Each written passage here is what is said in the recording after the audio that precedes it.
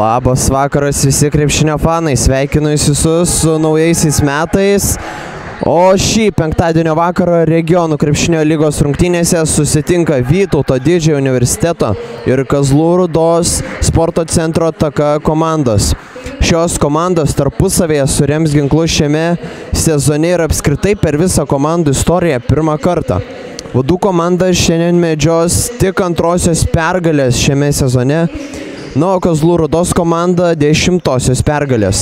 Šiuo metu Vadų komanda e, turi tik vieną pergalį ir patyrus yra 13 pralaimėjimų, o varžovai yra iškovoję 9 pergalės ir patyrę 5 pralaimėjimus.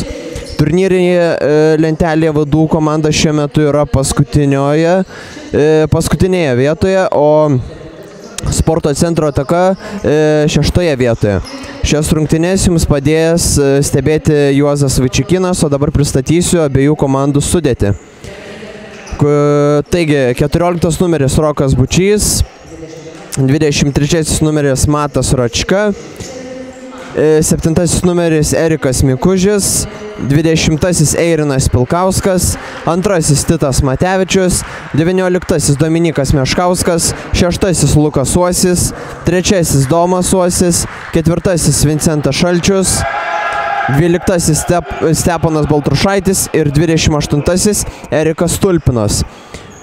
Vudų komandos vyriausias treneris Arūnas Juknevičius, trenerio asistentas Airidas Nutautas. Kazlų Rudos E, sporto centro atakos e, komandos sudėtis, tai numeris 0 Lukas e, Spranaitis, tai šiame sezone jo bus debiutinės rungtynės. Trečiasis numeris Paulius Dembinskas, septintasis Domantas Senda, septintasis Dominikas Ratkus, aštuntasis Ignas Dirda, dešimtasis Matas Klezys, 15 Armantas Haladauskas, 19 Mantas Gelčius, 24 Gytis Asačiovas, 25 Ugnius Nikitinas ir 35 Ernestas Barkus, vyriausias treneris Tomas Bietkis, trenerio asistentai Mantas Sadauskas ir Jaunius Davniukas.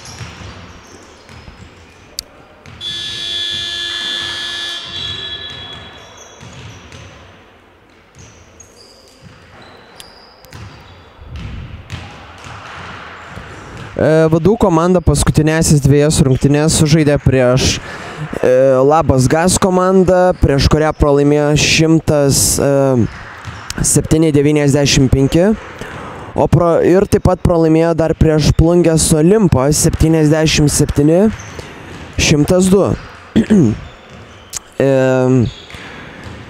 Praeitame sezone didžiąją dalį vadų komanda buvo tarp penkių stipriausių komandų turnyrinėje lentelėje, tačiau baigė sezoną būdami dešimtoje vietoje.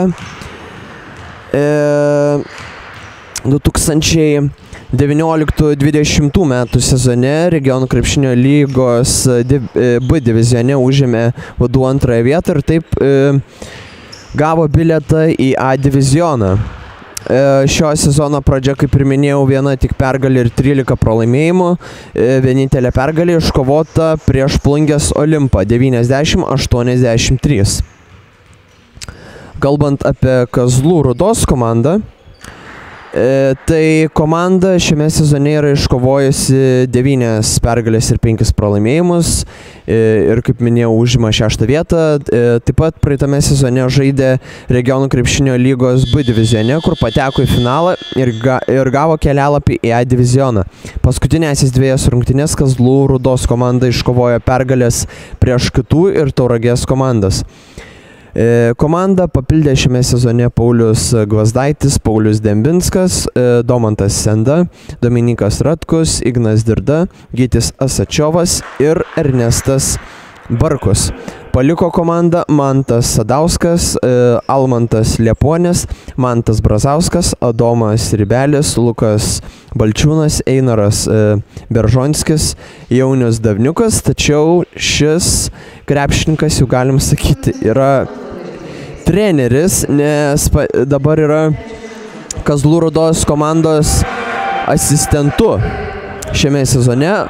ir jau kaip žaidėjas nesiskaito komandoje, bet kaip asistentas skaitos. Ir dar vienas žaidėjas Rokas Grebliūnas. Na, o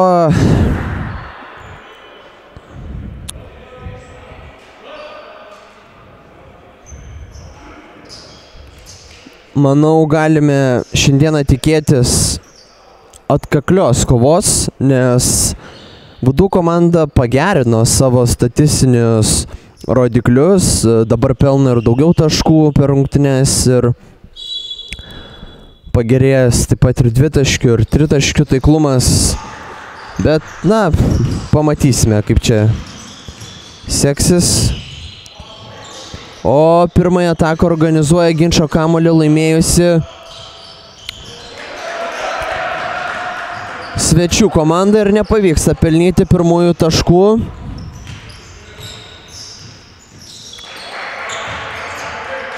Gelčiai, o čia su kamuoliu vadų krepšininkai. Ir pirmosius taškus pelna savo komandai Ročka. Vudų komandos startinis penketas, tai antrasis numeris Titas Matevičius, ketvirtasis Vincentas Šalčius, septintasis Erikas Mikužis, keturioliktasis Rokas Bučys ir 23-asis Matas Račkau. Pirmosius taškus savo komandai pelno Kazlų Rudos vienas iš lyderių Gytis Asačiovas. Kazlų Rudos sporto centro ataka komandos startinis penketas, tai penktasis numeris Domantas Senda, septintasis Dominikas Ratkus, devynioliktasis Matas Gelčius, dvidešimt ketvirtasis Gytis Asačiovas ir trisdešimt penktasis Ernestas Barkus.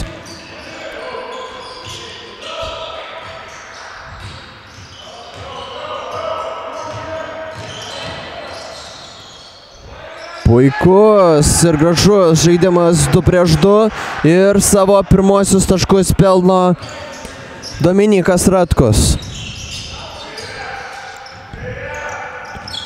Ir Vudu dabar stengsis išlyginti rezultatą.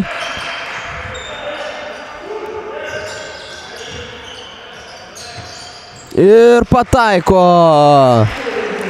Tris taškus Erikas Mikužis. 5-4 sužaidus 2 minutės šiuose dienos rungtynėse iš toli nepavyksta pataikyti, nes metimą blokuoja Erikas Mikužis, Domanto Sendos. Gražus epizodas.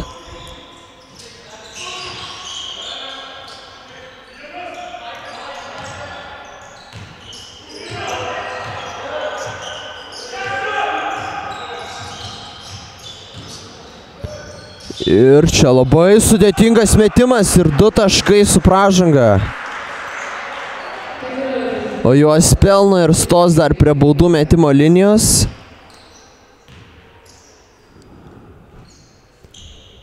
Gytis Asačiovas. O pirmąją asmeninę pražangą įsirašo 14 numeris Rokas Bučys. Pataiko pirmąją baudą, tiksliau pirmą ir vienintelę. Gytis Asačiovas, 5 taškai jo sąskaitoje ir Vudų komanda organizuoja ataką. Čia gražus Tito Matevičiaus prasiveržimas ir du taškai.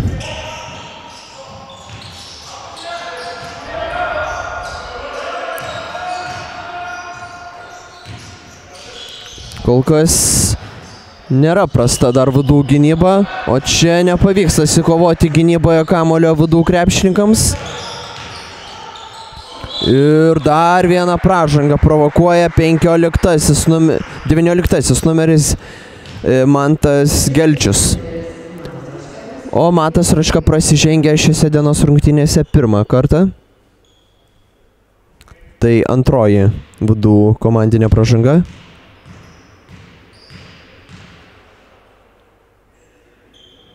Pirmoji bauda tikli. Manto Gelčiaus.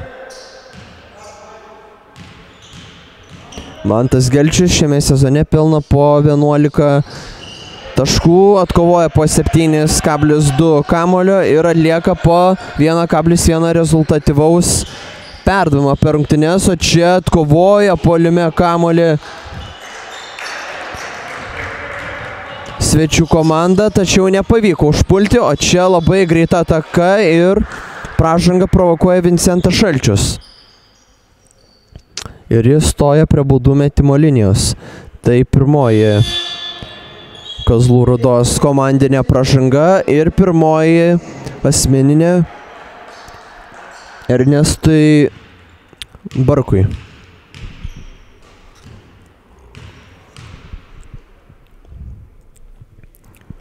Pirmosios baudos nepataiko Vincentas Šalčius. Jis šiame sezone e, pelno po 5,1 taško, e, 4,6 atkovoto kamulio ir 1,7 rezultatyvaus. Ir vieną iš dviejų pataiko e, mestų baudų Vincentas Šalčius ir lygu 8-8 sužaidus beveik 4 minutės, o čia polime pražanga. Ir prasižengia Mantas Gelčius. Tai yra antroji komandinė pražanga ir pirmoji jam.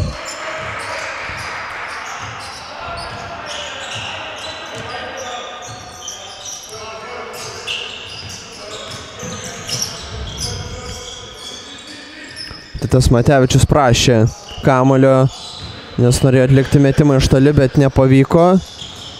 Čia labai gera gynyba. Ir čia pražanga puolime.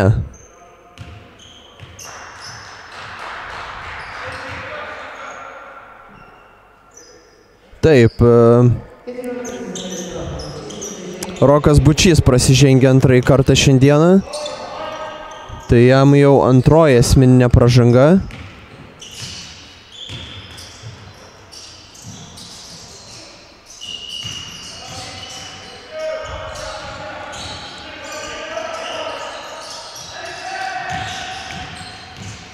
Ir nugarą žaidžia Gelčius ir pataiko du taškus. Laimėjo situacija vienas prieš vieną prieš Roką Bučį ir Gudų krepšininkai organizuoja ataką. Iš toli Titas Matevičius pataiko pirmasis jo tritaškis šiose dienos rungtynėse ir penktasis jo taškas. Ir Vudų komanda priekėje 11-10.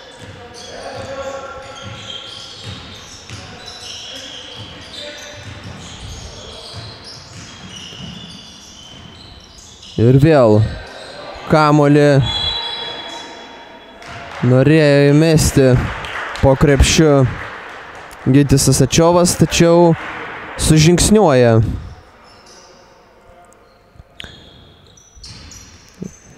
Mantas Gelčius, jei neklystu. Arba Ernestas Barkus. Buvo sunku, sunku pasakyti, nes mėslamalė buvo labai didžiulė po krepšiu. Tas Matevičius bandė sužaisti situaciją 2 prieš 2, tačiau nepavyksta to padaryti. O čia keitimai komandose. Ant suolo sėda Mantas Gelčius. Ir vietoje jo pasirodo aštuntasis numeris Ignas Dirda.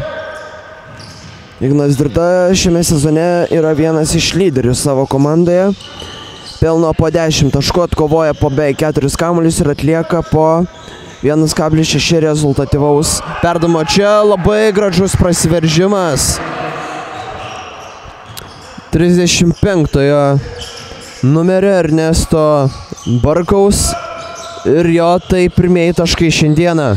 12-11. Na kol kas labai įdomi ir atkakli kova vyksta aikštelėje. Čia nugarą žaidžia Irnas Pilkauskas, tačiau nepavyko laimėti mikro dvikovos, bet pratęs ataką vadų krepšininkai.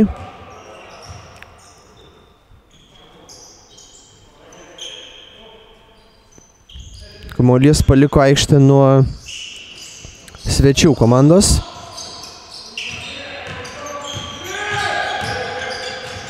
Ir čia du taškai Erikas Mikužis.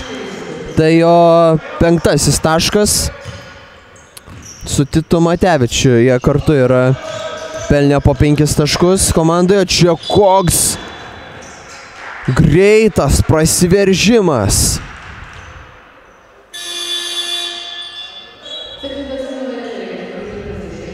Ir labai graži backdooro situacija, tik nepavyko užbaigti taškais jos, nes Erikas Mikužis matydamas, kad nebesustabdys varžovo laiku, prasižengia ir sustabdo taip ataką. Bet tai buvo jau ketvirtoji komandinė pražanga vadų komandos ir tai jau Jie dar kartą prasižengs tos prie baudų metimo linijos varžovai ir dabar tą ir padaro Domas Uosis jo pirmoji asmeninė pražanga ir siunčia Ernestą Barku prie baudų metimo linijos.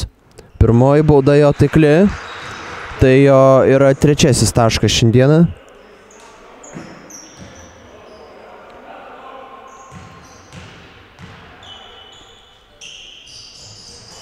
Ir antroji bauda taikli 14-13. Čia klausiautą bandė padaryti varžovai. Čia vadų labai iš tikrųjų graži ataka, tik nepavyko užbaigti rez rezultatyviai. Irinai Pulkauskoje čia dar viena greita pražanga, tačiau ji dėja siunčia varžovus prie baudų metimo linijos. Dominikas Meškauskas prasižengė pirmąjį kartą šiose dienos rungtynėse. Vadų, vadų komandoje, vadų komandos kokie žaidėjai dabar aikštėje, tai Domas Uosis, Erikas Mikužis, Dominikas Meškauskas, Eirinas Pilkauskas ir Erikas Tulpinas. Varžovų komandoje Dominikas Ratkus, Ignas Dirda, Mantas Klezys, Ugnius Nikitinas ir Ernestas Barkus. O čia praranda kamuolį vadų krepšininkai. Na, vadų komanda klysta šiame sezone labai dažnai. Vidutiniškai po 16,6 net kartus per rungtynės, o čia pataikė varžovai du taškus, o Deja, bet nepavyksta Erikui Mikužiui atsakyti to pačiu. Čia dar viena greita varžovo ataka ir dar du taškus. Pelno.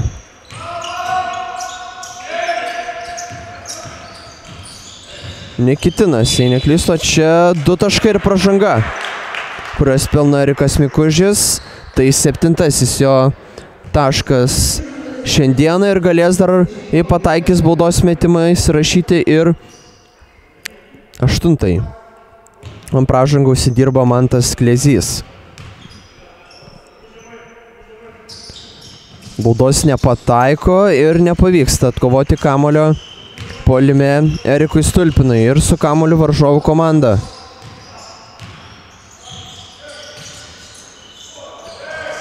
Dar puikiai situacija, du su pražanga. Ignas Dirda, šeštasis jo taškas. Ir galės dar prie baudų metimo linijos įsirašyti dar vieną tašką. O į aikštę žengia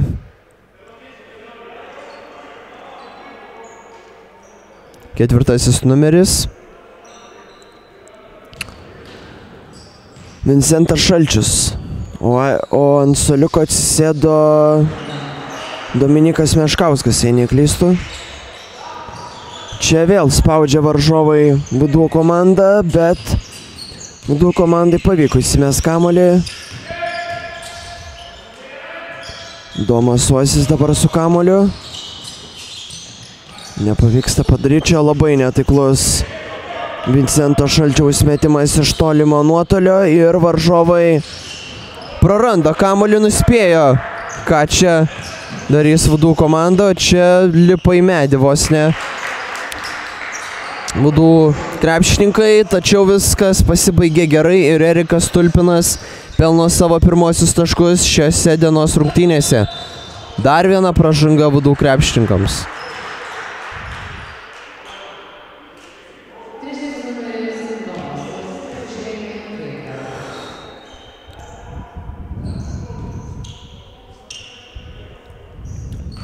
Domas Uosis prasižengė. Tai jam antroji asmeninė pražanga jau šiandieną ir baudą pataiko. Ugnius Nikitinas.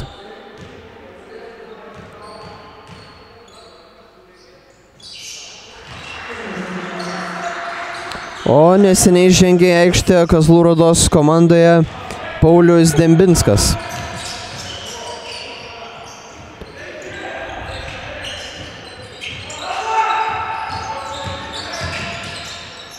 Užspaudė. Gudu. O. Labai gražu ir vadų komanda pataiko iš toli. Ir kerpa atsilikimą iki penkių taškų, o tritaškį pataiko Erikas Mikužis. Kol kas lyderis savo komandoje su 10 taškų. Penkis turi dar Titas Matevičius, du Erikas Tulpinas ir Matas Račka. Du turi, vadų komanda apsigina ir čia nedaug trūko iki nesportinės pražangos. Gana tokia kieta pražanga, stabdant greitą varžovo ataką. Bet baudom, baudos nėra metamos, nes tai ketvirtoji komandinė pražanga svečiams ir pirmoji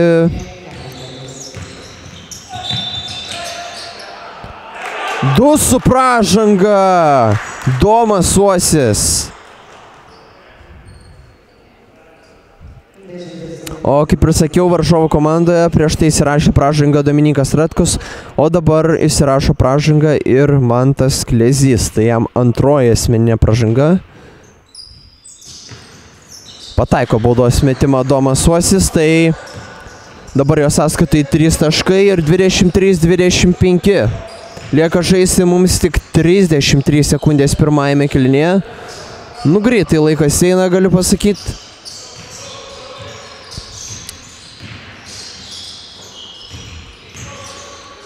Ir čia naudojasi jėgos pranašumu Ugnius Nikitinas. Ir pelno dar du taškus. Vudų komanda gali laikyti kamolį iki pat kėlinio galo. Čia iš toli nepataiko. Eirinas Pilkauskas. Taigi po pirmo kėlinio 27-23 priekyje Kazlų Rudos sporto centro ataka. Vadų komandoje kol kas rezultatyviausias yra Erikas Mikuž, Mikužis su 10 taškų, varžovų gretose rezultatyviausias yra Ignas Dirda su 7. Pagal atkovotus kamuolius vadų komandoje daugiausiai turi Matas Račka 2, varžovų komandoje 2 turi Dominikas Ratkus. Pagal rezultatyvius perdavimus Erikas Mikužis, Domas Uosis ir Vincentas Šalčius turi po vieną. Na, varžovų komandoje po du turi Domantas Senda ir Ugnius Nikitinas.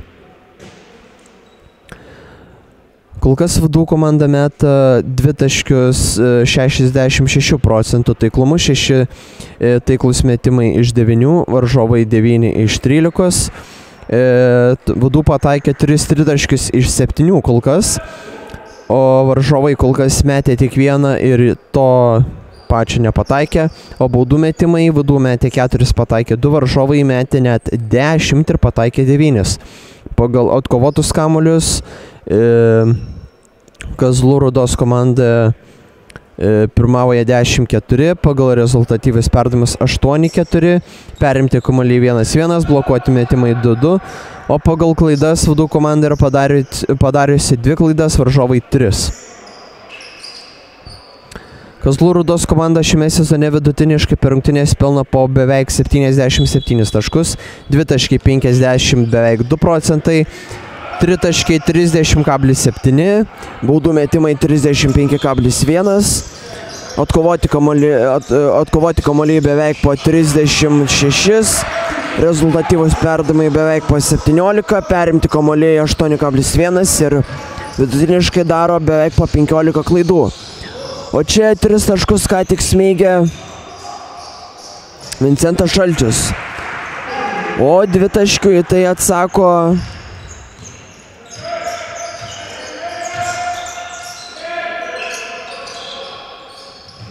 Dirda. Pražanga. 35 numeris prasižengė.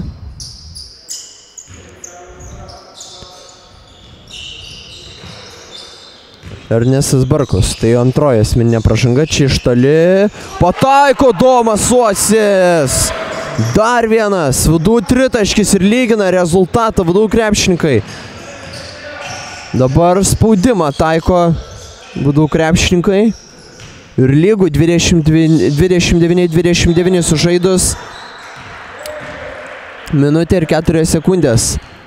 Ir prasižengė Mat, e, Dominikas Pilkauskas. Atsiprašau, Eirinas Pilkauskas. Tai jam pirmoji esminė pražanga šiuose dienos rungtynėse. Kol kas jis taškų nėra dar pelnęs. O čia du taškus lengvus pelno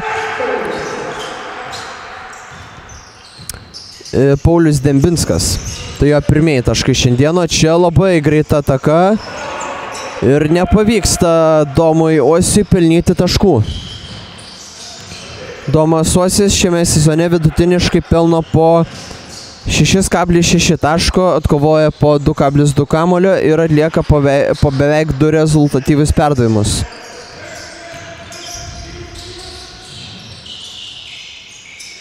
Labai netiklus metimas vadų komandos, tačiau dar vieną pražangą užsidirba gynyboje vadų komanda ir jam o pražanga įrašoma Lukui Uosiui. Ant suolo sėda Irinas Pilkauskas ir, ir į aikštelę grįžta Matas, atsiprašau, Rokas Bučys.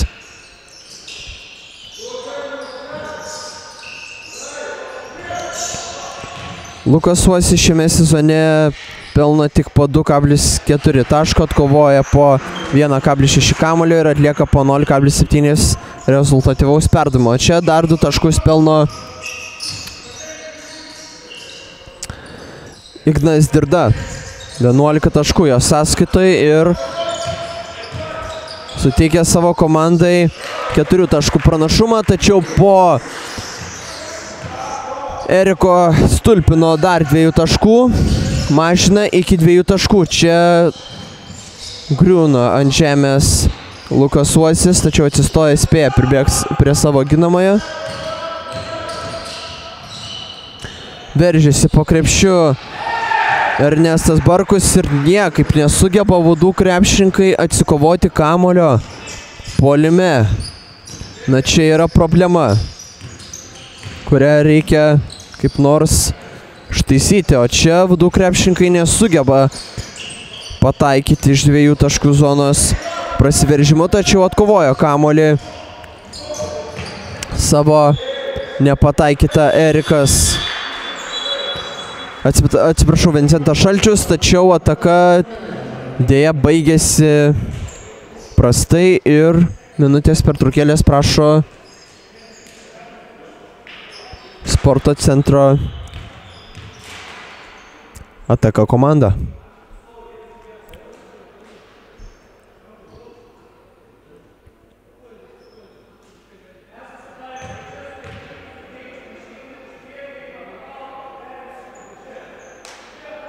Kalbant apie komandų lyderius, vadų komandoje rezultatyviausias yra Titas Matevičius ir jis pelno po vidutiniškai 14,5 taško, atkovoja po 3,2 kamulio, atlieka po 2 rezultatyvius perdavimus ir renka po 11,6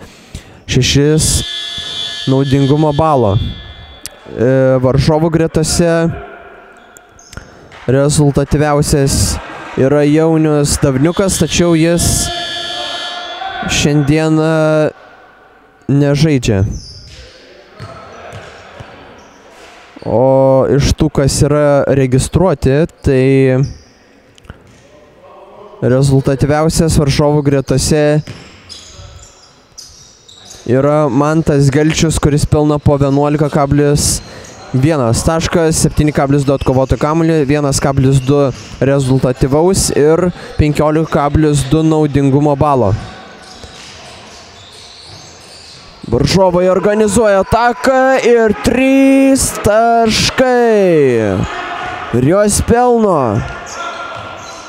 Paulius Dembinskas. Ir plus 7 įgyja Kazlų Rudos komanda. Titas Matevičius. Bando su Mataračka sužaisti pick and rollą, nepavyksta to padaryti. Čia du taškus paskutinėmis atakos sekundėmis pelno Vincentas Šalčius. O čia Vincentas Šalčius prasižengia gynyboje, bandydamas perimti iš žaidėjo kamulio. Čia pavyksta išmušti kamulį iš varžovo rankų Domui Uosiui, tačiau pilnai perimti kamulio nepavyko. Įsimeta kamulį iš šoninės linijos varžovai ir prates ataką. Sporto centro ataka komanda čia nepataiko varžovai ir čia pražanga. Varžovų komandai ir pirmąją asmeninę pražangą užsidirba Domantas Senda.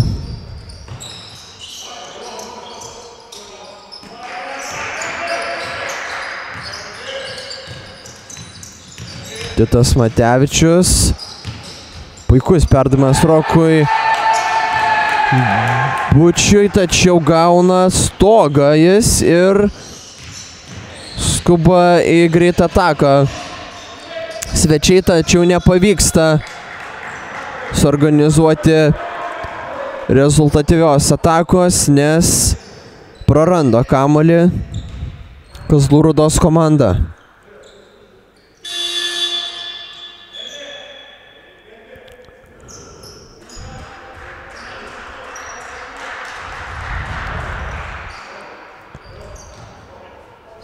Ir vietoj Ernesto Barkaus aikštėje varžovų gretose pasirodo septintasis numeris Dominikas Ratkus.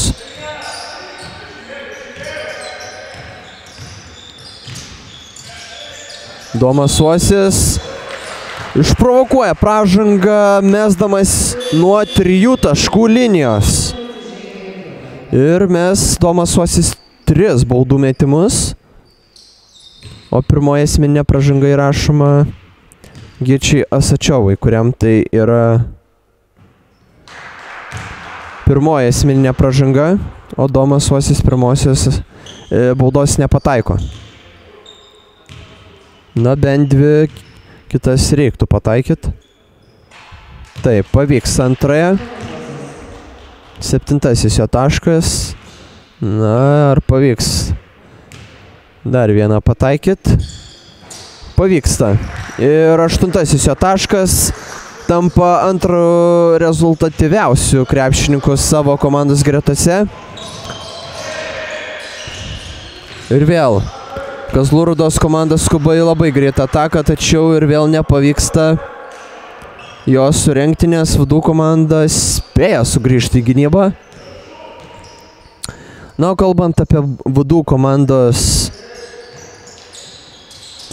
statistinius rodiklius, tai vadų komanda vidutiniškai per rungtynės pelno po 72,8 taško, dvitaškiai 44,7 procento, tritaškiai 30,7 nuo baudų metimo linijos meta beveik 71 procento taiklumu, atkovoja po vidutiniškai 33 kamolius. E, atlieka po beveik 15 rezultatyvių perdavimų ir perima po 7,4 kamulio per rungtynės ir klysta po 16,1 šešis karto per rungtynes ir tos klaidos šiame sezone yra labai didžiulė problema Vudų komandai. Vudų komanda kovodama kamolį polime prasižengia ir sporto centro ataka komanda turi šansą dar labiau padidinti savo pranašumą. Praranda kamolį Kazlų Rudos komanda. Ir dar viena pražanga, kuris skiriama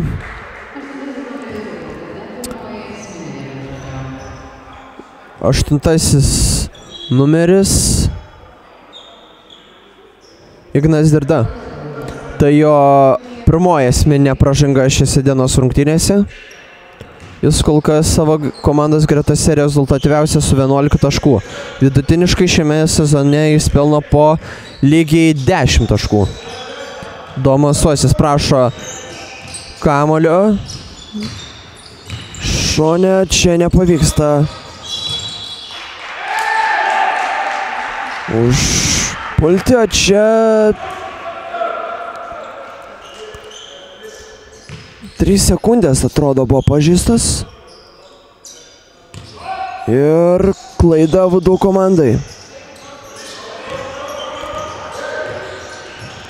Na, abi komandos tikrai negalima sakyti, kad gerai ginasi, nes uh, sporto centro taka prasileidusi yra 35 taškus nuo vadų komandos, o vadų komanda 38. Lieka žaisti dar keturias minutės, abi komandos yra prasižengusi e, po keturis kartus.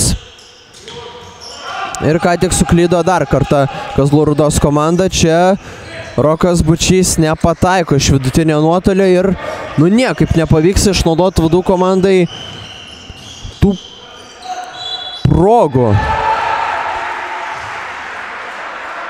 Tiek daug dovanėlių atrodo Sporto centro ataka suteikia vadų komandai, bet niekaip nepavyksta jomis pasinaudoti. O čia du taškus su pražanga pataiko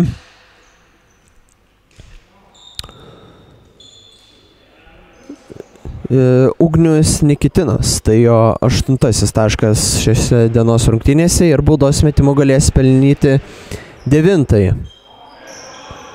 Deja, baudos nepataiko, tačiau atkovoja kamolį polime.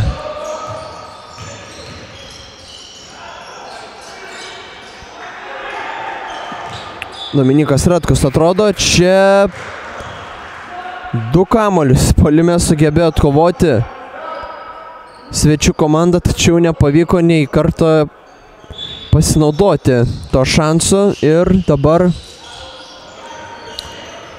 dar viena proga sporto centro komandai padidinti savo pranašumą, tačiau ir vėl nepavyksta to padaryti. Titas Matevičius. Greita jo ataka baigėsi klaida. Grįžta į gynybą vadų krepšininkai spėja, tačiau čia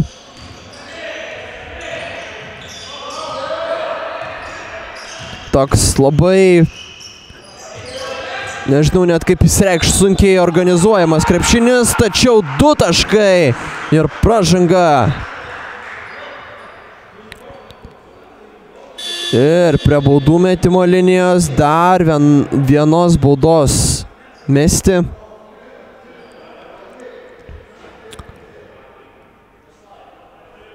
Ugnius Nikitinas, kurio tai buvo dešimtasis taškas ir galės į pataikys baudą tapti antru rezultatyviausiu krepšininku savo komandos gretose. Ta ir padaro. O pražangą įsirašė prieš tai Matas Ročka, o čia klysta Vudų krepšininkai. Pavyko pritaikyti klausiauto situaciją Kazlų Rudos komandai ir išprovokuoja Vudų komandos klaidą. Na, mato Ročkos kol kas rungtynių pirmoji pusė tikrai prastoka. Du taškai ir trys asmeninės pražangos. Čia trys taškai, kurios pelno Domantas Senda. Tai jo pirmieji taškai šiandieną. Ir Vudų komanda jau atsilieka 11 taškų skirtumu. Titas Matevičius, labai sudėtingas metimas ir nepavyksta pelnyti taškų. Ir klysta Sacetaka, nepamačiau, kuris žaidėjas pamušė kamolį į vieną iš Kazlurdos krepšininkų kojas, tačiau Būdų komanda apsigina ir minutės pertraukėlės prašo Vytauto didžiojo universiteto komandos vyriausias treneris Arūnas Juknevičius.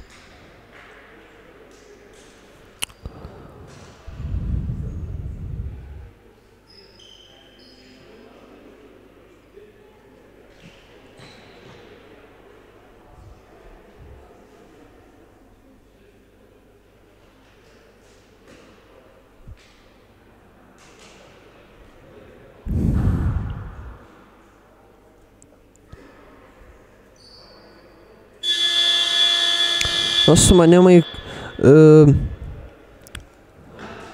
šioje sporto salėje tikrai ne vienas žiūrovas yra.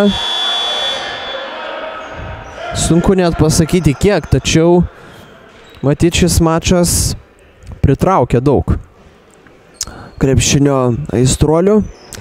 Kol kas šį kėlinį Kazlūrudos komanda laimė 19-12. Ir liku žaisti 2 minutės 14 sekundžių. Kazlurdos sporto centro ataka komanda turi 11 taškų pranašumą prieš Vytauto didžiojo universiteto komandą.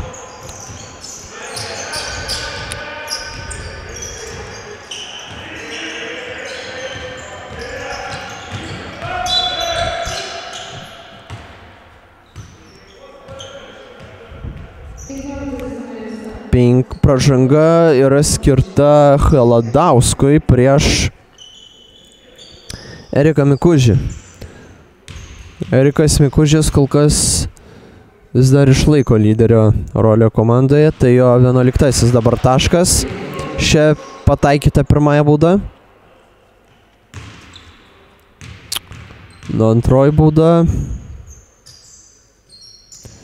Taip pat taikli ir mažina iki vienženklio skirtumo 37-46.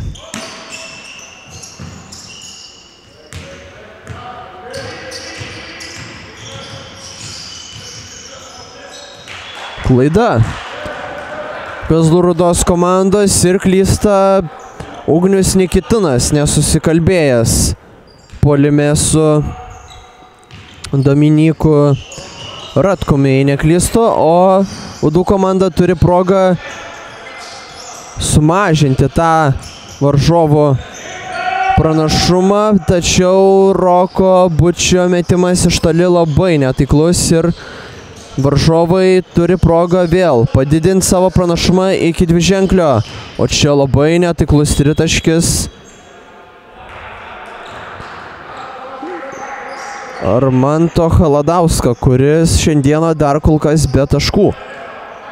O Armantas Haladauskas šiame sezone na ir nėra vienas iš komandos lyderių, pelno vos po pusantro taško ir atkovoja po 0,5 kamulio.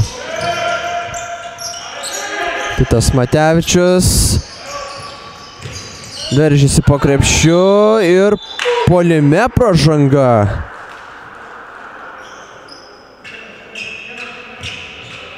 Su energija. Ignas Dirda net tokia išreikia viską. O Vudų komandas taiko spaudimą nuo šoninės linijos esantiem varžovų krepšininkam. Čia veržėsi po krepšio aštuntasis numeris Ignas Dirda, tačiau nepataiko ir Vudų komanda apsigina. Na, turi nu, pasistengti Vudų krepšininkai bent iki kėlinio pabaigos sumažinti da, tą pranašumą. 13 trys taškai. Ir jos pelno Erikas Mikužis. Nebejotinas šiandieną savo komandos lyderis. 15 taškų turi.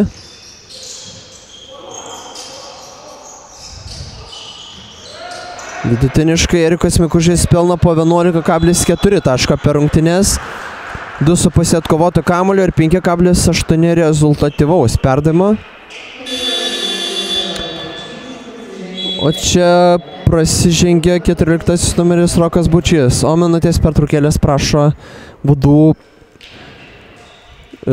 komandos vyriausias treneris Arūnas Juknevičius. Lieka mums žaisti antrajame kilnėje tik 21 sekundę. Kol kas e, abi komandos atakuoja krepšius tikrai neblogai. E, vadų komanda dvi taškius meta 47 procentų taiklumu, 8 tiklas metimai 17. Varžovai pataikė 15 iš 26 dvi taškius, tai yra net 57 procentų taiklumas. E, pagal tritaškius vadų komanda yra pataikiusi 6 tritaškius iš 11 ir tai 54 procentų taiklumas. Kazlų Rudos komanda yra pataikiusi 2 tritaškius iš 6 ir 33 procentų taiklumas. Pagal baudų metimus vadų komanda yra pataikiusi 6 iš 9, o varžovai 10 iš 12. Atkovot, pagal atkovotų komolių statistiką vadų komanda žymiai pralaimi 24-10 pagal rezultatyvius perdavimus taip pat vadų komanda pralaimi 14-7 pagal perimtus kamolius 2-2, blokuotus metimus 3-2, o pagal klaidas vadų komanda yra padariusi 7 klaidas, varžovai 8. O pirmąją baudą pataiko septintasis numeris Dominikas Ratkus, tai jo yra trečiasis taškas šiandieną. Taip pat šis krepšininkas turi dar at penki, penkis atkovotus kamolius ir vieną rezultatyvų.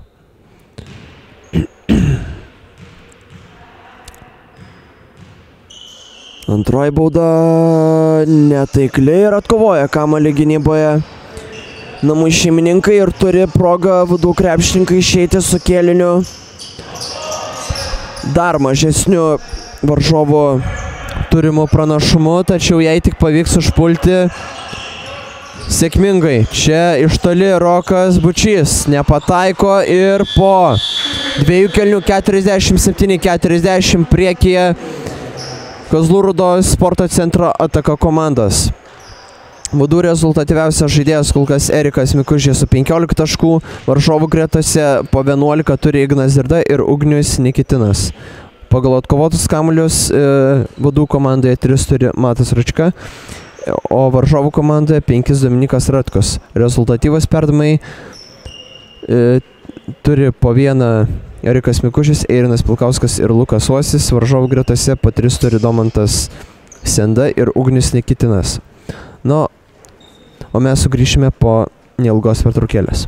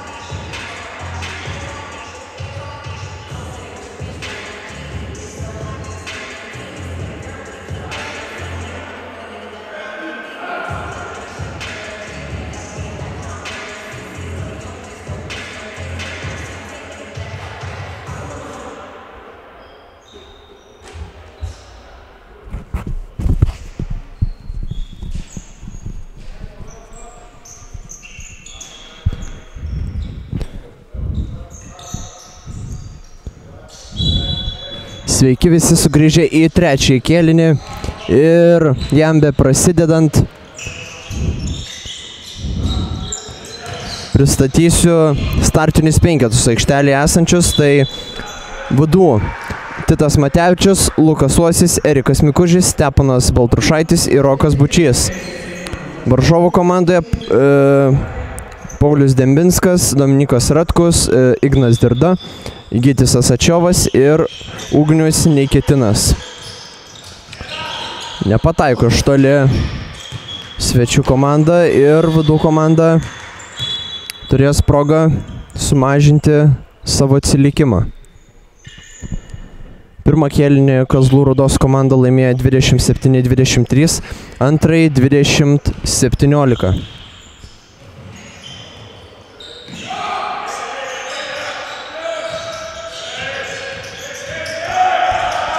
Prieš Titą Matevičių labai gerai ginasi.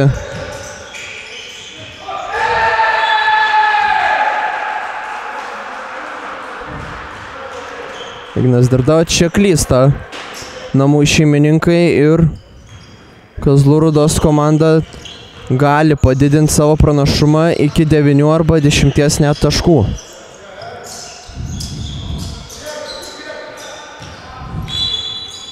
Ir čia pražanga, kuri yra įrašoma Erikui Mikužiui. Tai jam antroji esminė pražanga šiandieną. Kol kas į savo komandos gretose rezultatyviausias su 15 taškų.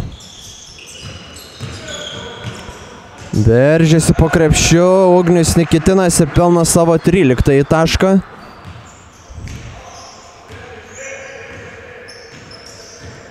Būdų komanda keturias asmeninės pražangas yra šiandieną jau susirinkęs Matas Račka ir jam labai nesėkmingos rungtynės iš tikrųjų, nes tik du taškus yra pelnęs.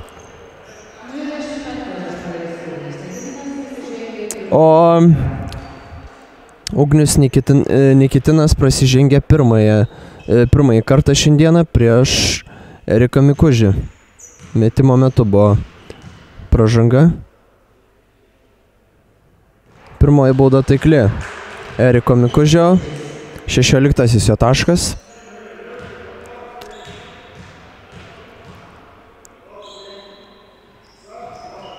Ir antrąją pataiko baudą. Erikas Mikužis ir skirtu, skirtumas tarp komandų 7 taškai.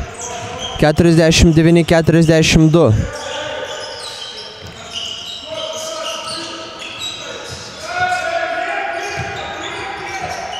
Ir čia pražanga. Irinai Pilkauskui man labiau atrodė, kad blokas buvo, bet matyt kepštelėjo per ranką. Varžovai ir įrašoma jam pražanga, kol kas Eirinas Pilkauskas be taškų šiandieną. O pirmasis baudos nepataiko.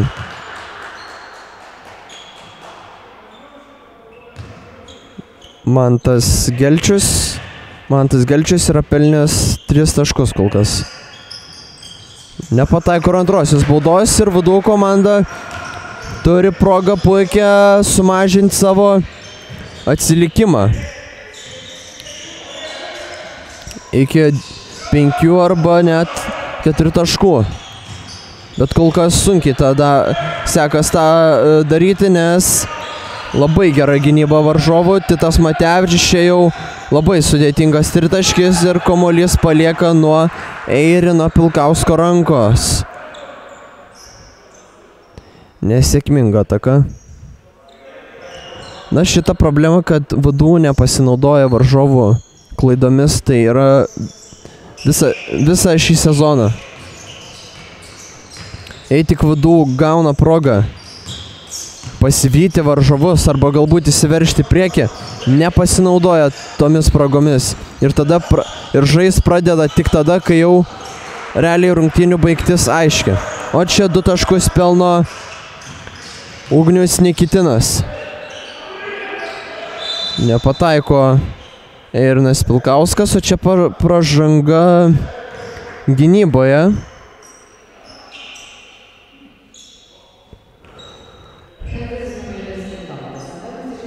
Domantas Senda prasižengė. Domanto Sendo sąskaitoj kol kas 3 taškai, vienas atkovotas kamuolys ir 3 rezultatyvus perdamai. Erikas Tulpinas nepataiko ir su kamoliu varžovai vėl.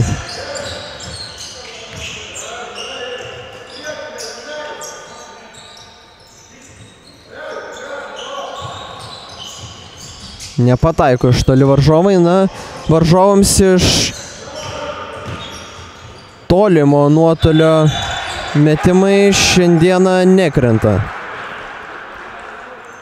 Kol kas tik du taiklus tritaškiai iš septynių.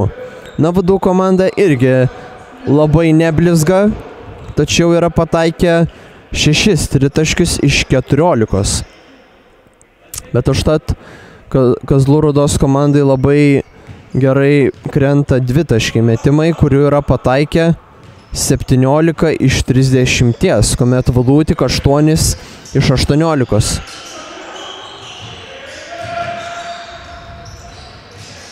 Ir tarp komandų vėl skirtumas dvi ženklis. 53-42. Ir pirmosios minutės pertraukėlės prašo vadų komanda.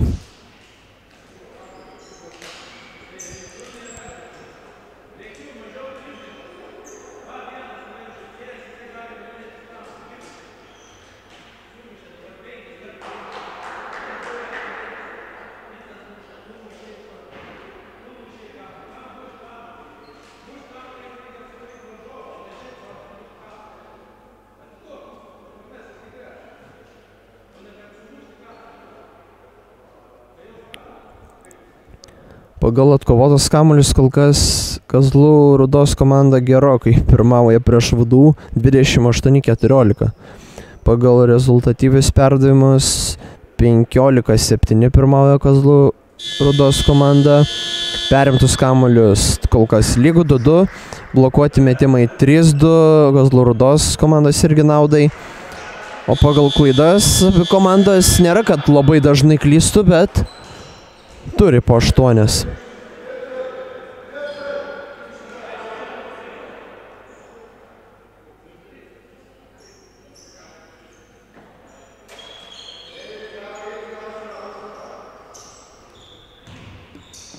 Ir tęsia ataką vadų krepšininkai. Iš to nepataiko Irinas Pilkauskas. Na, Eirinas Pilkauskas tikrai savo, tikrai nėra jis labai rezultatyvus ar taiklus žaidėjas, gana daug metimų iš žaidimo prameta. Šiame sezone Eirinas Pilkauskas pelno po 4,6 taško ir atkovoja po 3 kamuolius. O čia vadų komanda perėmė kamulį ir greitoje atakoje pelno 2 taškus Vincentas Šalčius.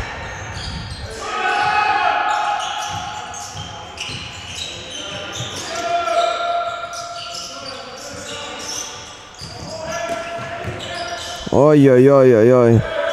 Kaip gražiai vaikšto kamuolys gražiai varžovų komandoje. O čia pražanga Ugniui Nikitinui. Tai yra trečioji komandinė pražanga. Ir jam tai yra antroji asmeninė. Dar šešias minutės lieka žaisti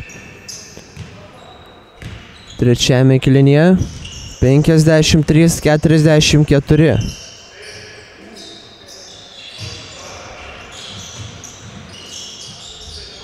Titas Matevičius atlieka metimą iš toli ir jis yra taiklus. Na pagaliau. Kyla vadų komanda iš pelenų ir stengiasi sugražinti intrigą. 47-53. Tito Matevičius tai buvo tik aštuntasis taškas, o čia Būdų komanda apsigina.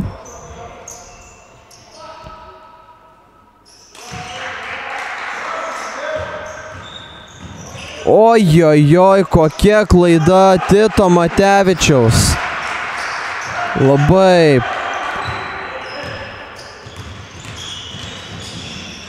Labai kvaila, norėjau sakyti, tačiau nežinau, ar labai gražu jis reikš. Taip, o čia vėl čiut nepraranda kamulio. Du komanda čia mina liniją. Erikas Tulpinas ir dar viena vadų komandos klaida.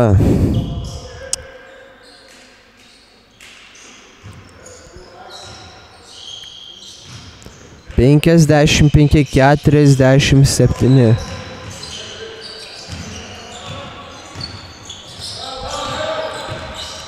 Minus 8 turi vadų. Pavyks apsiginti šioje atakoje. Vadų krepšininkams. Eirinas Pilkauskas perdoda kamolį. Pick and roll situacija. O čia blokuoja metimą, dar vieną. Eirino Pilkausko. Ir čia pražanga Erikui Stulpinai atrodo.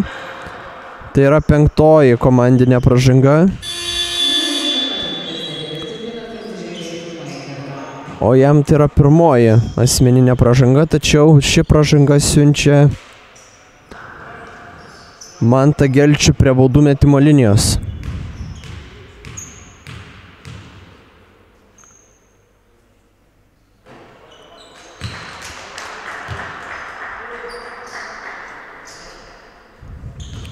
Nepataiko pirmosios baudos šis krepšininkas. Antrą pataiko. Tik keturis taškus šis krepšininkas turi. Ojojoj, dar viena klaida. Mūdų komandos. Kokia gera.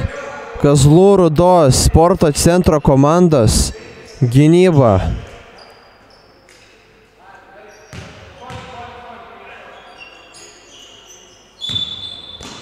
Ir vėl Vudų komanda sminga į dugną. Ir praranda kamolį Ignas Dirda.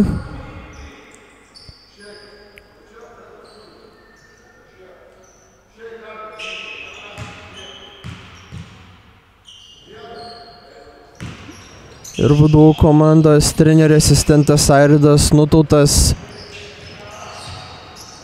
patarinėja komandai, ką daryti. Na, tų patarimų reiktų ir tikiuosi jie bus geri, nes vadų komandai reikia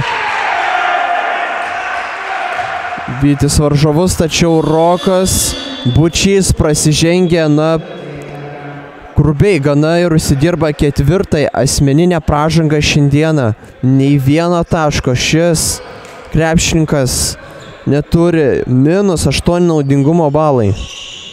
Labai prastus jam rungtynės, o čia Dar viena pražanga. Oi.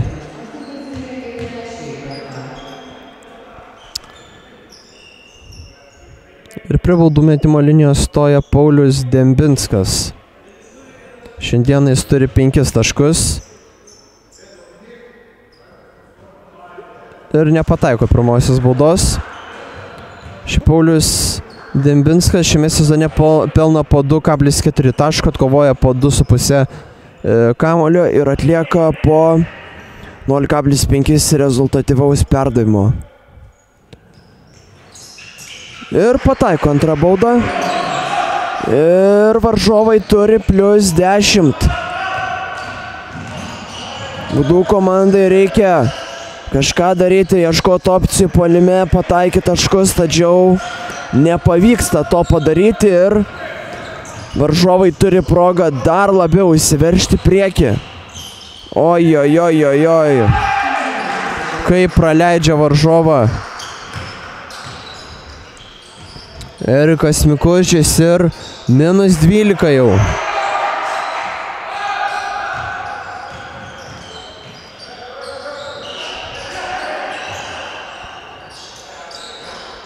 Nepataiko štali būdų ir į greitą polimo skuodžiai Kozlų rudos krepšininkai ir praranda kamolį, tačiau susigražina jį, o pražanga bus skirta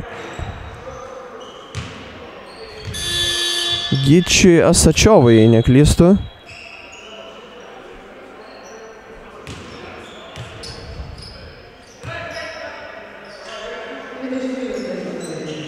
Taip, tai antroji jam asmeninė pražanga ir ketvirtoji komandinė.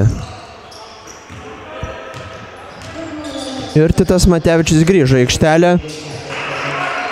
ir diriguoja komandos polimui. Jo šiandieną indėlio labiausiai trūksta. Iš toli čia jau paskutinėmis sekundėmis išmetė kamolį Domas Uosis, tačiau jo Metimas iš toli yra taiklus ir mažina iki 9. Lieka žaisti 2 minutės 45 sekundės trečiajame kilinyje. Dabar iš toli atakuoja ir varžovai ir pataiko tritaškį Gytis Asačiovas.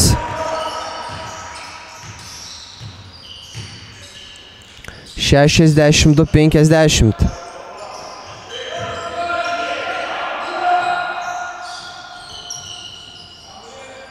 Bučys nepataiko iš toli, nesiseka jam šiandien įsilieti komandos žaidimą. Čia visai neblogai veržės, tačiau Titas Matevičius sustabdė Ernesto Barkaus prasiveržimą po krepšio. Čia dar vienas tritaškis. Ignas Dirda, 16 jo taškas. Ir tarp komandų jau minus 15. Čia prasižengia septintasis numeris Dominikas Ratkus, o du taškus su pražanga užsidirba Domi, Dominikas Meškauskas. Tai jo pirmieji taškai šiandieną. Bauda pataiko ir mažina iki 12. Na, skirtumas tikrai dar nėra toks, kurio nepavyktų vadų komandai panaikinti per likusi trečią kėlinio, nu, okei, okay, per likusi trečią kėlinio laiką gal ir nepavyks jau panaikinti, tačiau dar, dar laukia mūsų ketvirtasis kėlinys visas. Na ir įdomu bus pažiūrėti, ar pavyks vadų komandai sugrįžti rungtynės, tačiau kol kas pagal demonstruojamą žaidimą nežinau, labai abejoju. Ir dvi baudas meta Sačiovas. Tai jis pataiko pirmąją mestą baudą. 11 jo taškas ir 12. 67-53 spaudžia nuo pat galinės linijos varžovus Kazlų rudos krepšininkai. Labai reikia taškų vadų komandai. Tačiau kol kas neranda trečiajame kilinėje to lyderio vadų krepšininkai. Rokas Bučys, labai netiklus metimas. Ai, ai, ai. Daug neišnaudotų progų. Ir čia klysta.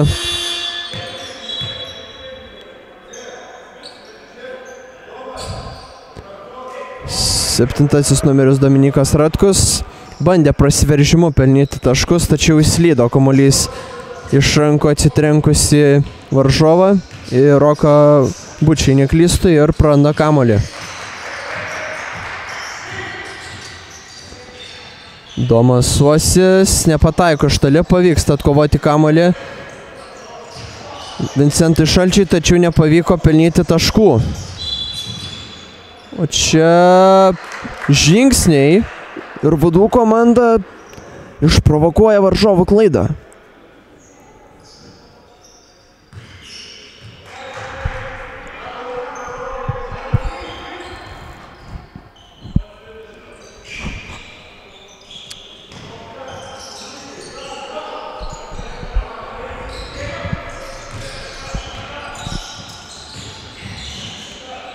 Rokus Bučys pelnys savo pirmosius taškus, dėja ne, bet ištraukė kamolį Vincentas Šalčius, o čia pražanga. Prieš Domauosi, kadangi jau turi penkias komandinės pražangas Kazlų Rudos komanda, tai Domas Uosis stoja prie būdų metimo linijos, o pirmąją pražangą šiandieną asmeninę įsirašo Paulius Dembinskas. Nepataiko pirmosios baudos Domas Uosis. Kol kas jo sąskaitai šiandieną 11 taškų. Taip pat du atkovoti kamuoliai ir vienas rezultatyvus. Nepataiko nei vienos baudos Domas Uosis ir nepasinaudoja progą sumažinti skirtumą iki 13 arba 12 taškų. O dabar gali jau sporto centro ataka. Komanda laikyti kamolį iki pat kėlinio galo. Nepavyksta pataikyti, tačiau pat, bandė pataisyti metimą. Ore pašokęs Paulius Dembinskas, tačiau nepavyksta padaryti. Ir po trijų kelnių 67-53 sporto centro atako komanda su, susirenka didžiulį pranašumą ir bus įdomu pamatyti, ar pavyks jį panaikinti ketvirtajame kilnėje vudų krepšininkams.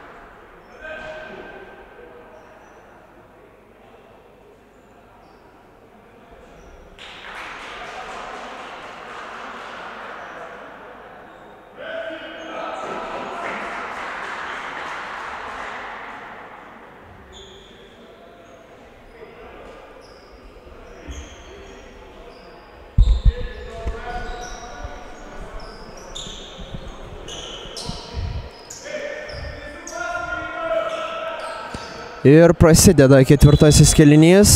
Mūdų komandoje kol kas rezultatyviausias ir toliau Erikas Mikužis, tačiau jam nepavyko komandos patemti trečiame kilinėje, o čia polime pražangą užsidirba Titas Matevičius. Tai jam trečioji asmeninė pražanga. O varžovų komandoje net trys krepšininkai yra surinkę dviženklių taškų skaičių. Tai Kazlų Rudos komandoje Ignas Dirda turi 16, 15 Ugnius Nikitinas ir 12 Gytis Asačiovas. Tačiau taip pat Kazlų Rudos komandoje be taškų dar yra šiandieną aikštėje nepasirodęs nors registruotas Pranaitis, Haladauskas Ir viskas, šie tik du krepšininkai, ką tik dešimtasis numeris. Mantas Klezys pelnė pirmosius savo taškus. Šiandieną čia du taškus įsirašo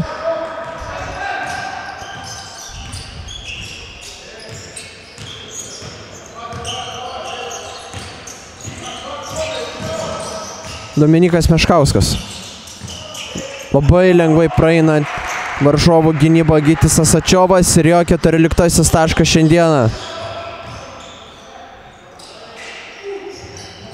Pataiko iš toli Dominikas Meškauskas ir įjungia varikliuką savo trečiame kilnėje, tačiau ar to pakaks sugrįžti rungtynės ir iškovoti pergalę, nežinia. Reikia pagerinti gynybą vadų krepšininkams gerokai. Čia pavyksta Matui Ročkai apsiginti, o čia pražanga Ignui Dirdai.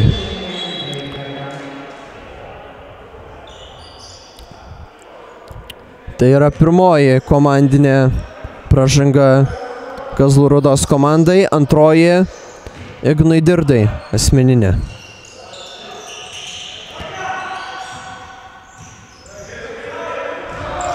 Sporto centro takos komandai nėra nei vieno krepšininko kol kas, kuris būtų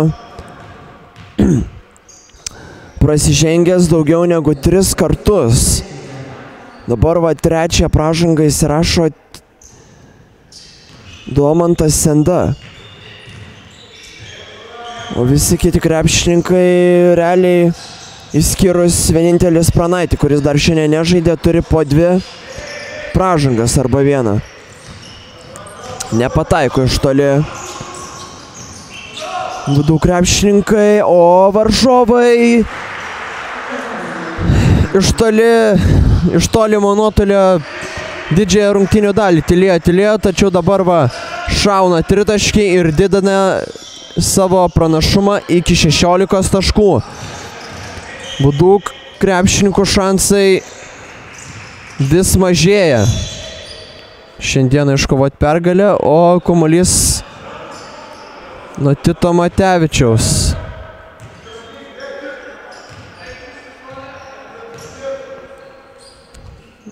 Dar ginčiasi šiek tiek su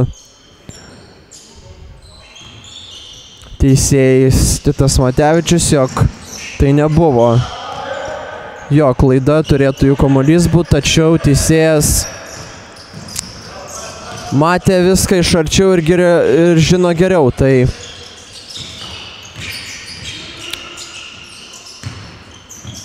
Oi, labai lengvai prasiveržė ir du taškus pelno Kazlų rudos lyderis Ignas Dirda. Iš toli, ne, ne minės liniją metė Matas Račka, tačiau labai netaikliai pro rankas ir net komolys nepasiekė. Lanko, čia greita Domo Osio pražanga ir minutės pertraukėlės prašo Vytauto didžiojo universiteto komandos vyriausias treneris Arūnas Juknevičius.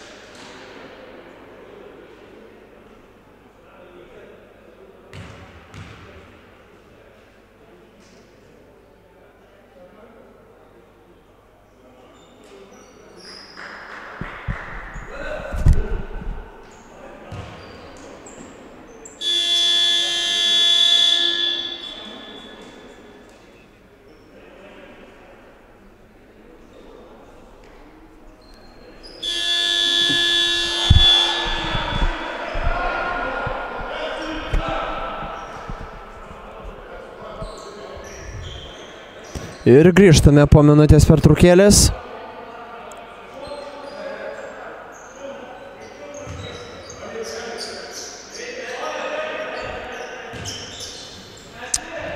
Ir įsimeta kamolį iš šoninės linijos.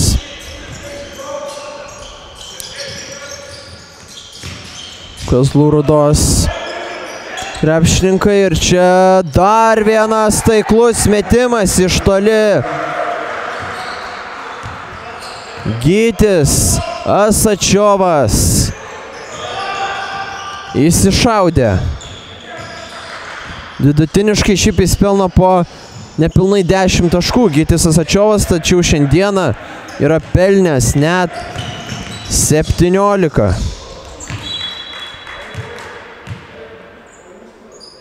O taką prates. Svečių komanda. Na, abejoju, ar dar pavyks vadų krepšininkams kažką šiandieną padaryti. Skirtumas yra jau triuškinantis ir Kazlų Rudos komanda tikrai nestabdo.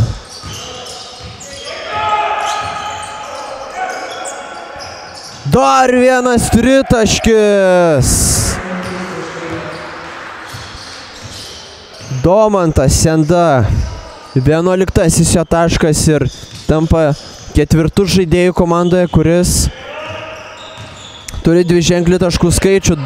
Čia Domas Uosis bandė kažką padaryti, nepavyko, o kamuolys atsitrenkė į Eirino Pilkausko koją. Ir su kamuoliu liks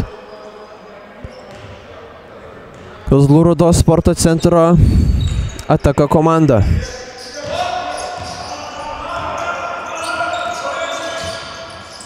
Nepataiko. Šį kartą varžovai ir vadų komanda turi progą šiek tiek sušvelninti atsilikimą čia vėl nesusikalbėjimas polime ir du lengvi varžovų taškai. 14 pralaimėjimas. Šiandieną bus du komandos sąskaitoje, o čia dar labai gana, norėjau sakyti, lengvoje situacijoje nesugebėjo pelnyti Matas Račka, kuriam tai vienas iš blogiausių rungtynių šiame sezone, o dar vieną žudantį tritaškį smeigia Dominikas Ratkus.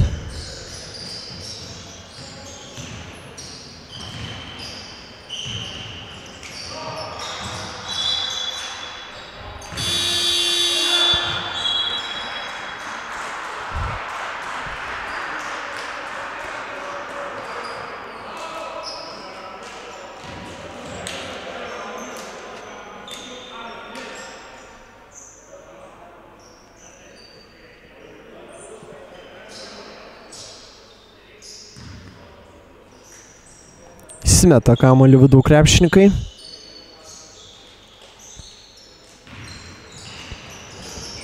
Na, pirmajame kilnėje tikrai nebūčiau pasakęs, kad kova galės pasikreipti į visiškai kitą pusę.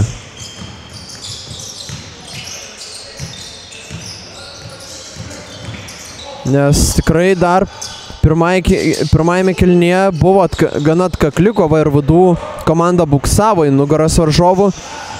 Buvo tik keturių taškų skirtumas. Po dviejų kelnių buvo septynių taškų skirtumas. Tačiau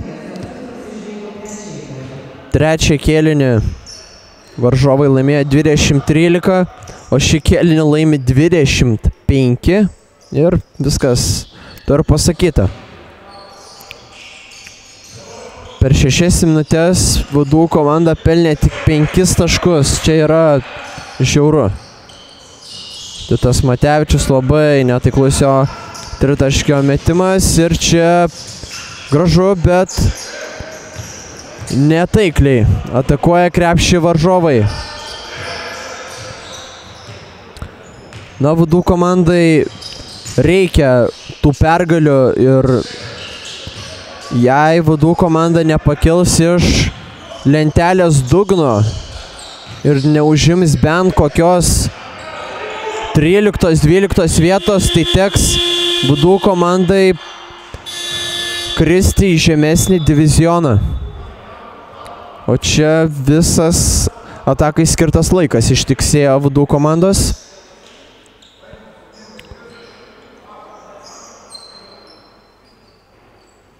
Na, aišku, vadų komandos visa sudėtis realiai atsinaujino, prarado daug lyderių ir išliko vos tik keletą žaidėjų vadų komandoje, o kiti daugumą atėjo iš žemesnio diviziono arba dar iš žemesnės lygos.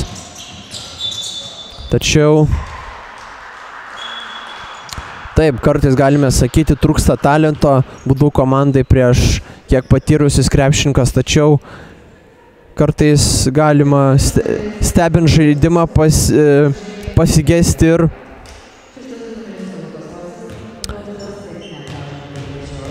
pasigesti to tokio užsideigimo noro kovoti. Dažnai ir koncentracija, kiek pastebėjau, praranda vadų krepšininkai ir neišnaudoja progų gana dažnai, jei tik būna nedidelis skirtumas, varžovai vis klysta, niekaip nesugeba vadų komanda tiesiog persverti to rezultato arba pasvyti varžovų, kaip ir šiandieną buvo skirtumas e, penki taškai neklystų ir vadų komanda nesugebėjo varžovam dažnai klystant tiesiog tą skirtumą sumažinti, panaikinti ir įsiveršti priekį.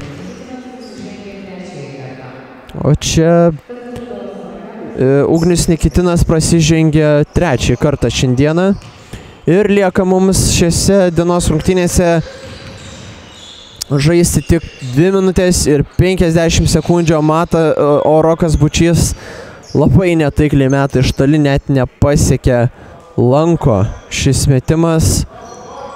Tragiškos jo rungtynės. Minus 14 naudingumo balų.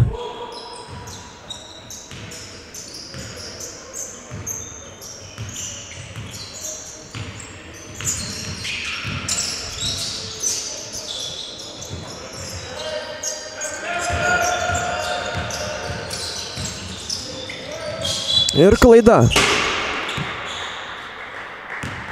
Kazlų rudos komandos.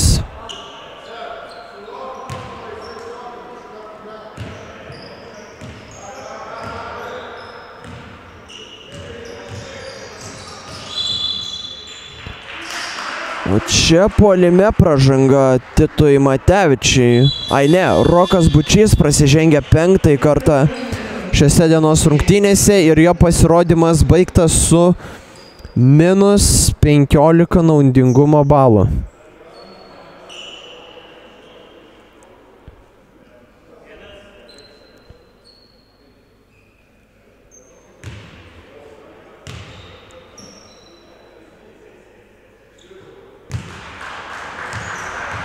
O čia techninė pražanga buvo nubaustas vienas iš būdų krepšininkų.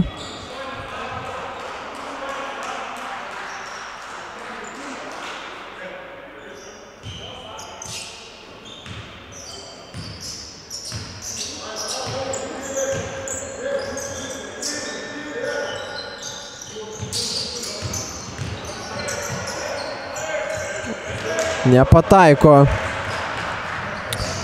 Ugnis Nikitinas, o čia iš toli nepataiko ir Vincentas Šalčius, vos metimas pasiekė lanką. Varžovai, oi, kaip lengvai apžaidė Mantas Klezijas Stepono Baltrušaitį. 32 taškų skirtumas. Pataiko Titas Matevičius 2 taškus, tačiau Budų komanda ketvirtajame kelnie sugebėjo sukrapštyti vos 7 taškus varžovai 23. Nepataiko štali. Svečėjo čia, na bent rungtynes gražesnių tokio epizodų pagražina Erikas Tulpinas.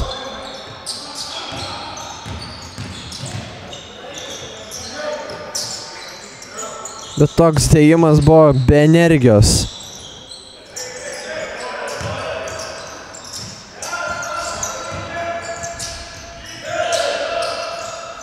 Nepataiko varžovai. Nuo vadų dabar pradėjo geriau gintis, tačiau kai, kai jau rungtinių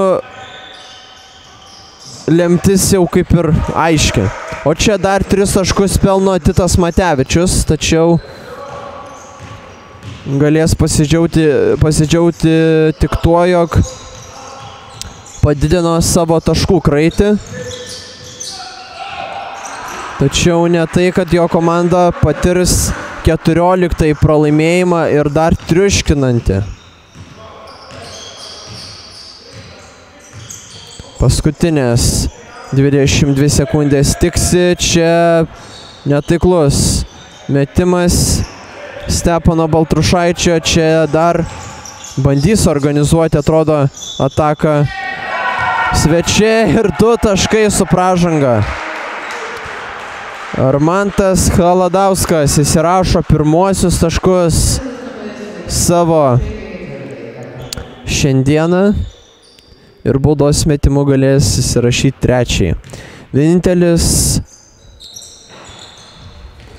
Kazlų rudoje, Kazlų rudos komandoje nepasirodė Lukas Pranaitis.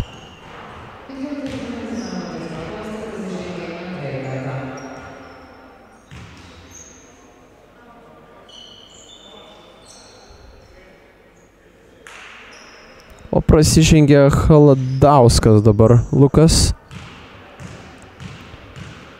Armantas, atsiprašau. Ir prie baudų metimo linijos stoja Erikas Tulpinas. Septintasis jo taškas.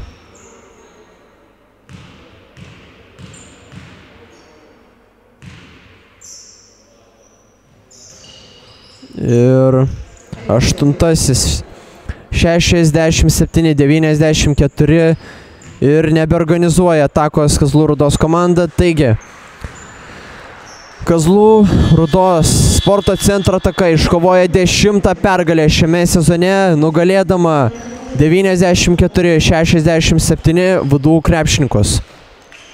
Vadų gretose rezultatyviausias buvo Erikas Mikužis su 17 taškų, varžovų gretose 19 pridėjo Ignas Dirda ir Gytis Asačiovas. Pagal atkovotus kamolius vadų komandoje daugiausia surinko Vincentas Šalčius ir Erikas Tulpinas po 5. Varžovų gretose 8 Mantas Gelčius. Pagal rezultatyvius perdavimus Titas Matevičius, Lukas Uosis ir Domas Uosis po 2. Varžovų gretose 5 surinko Ignius, Ugnius Nikitinas ir keturis Domantas Senda. Ačiū, kad žiūrėjote ir iki kitų susitikimų.